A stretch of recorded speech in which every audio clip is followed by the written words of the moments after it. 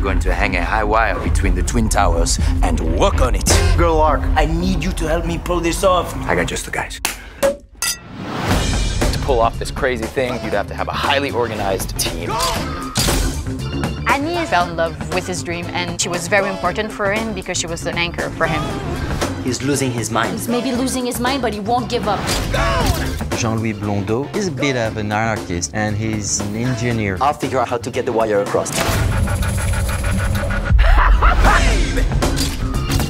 This point, Philippe and his buddies, they're looking for fast-talking New Yorkers so that they can get into the buildings. If we don't make this delivery, we're gonna get fired. And Phil here? Oh, he's a dead duck for sure.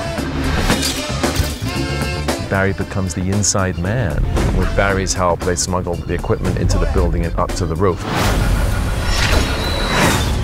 Albert has quit. He says the sun is rising and the coup is up. We have a problem. What should we do?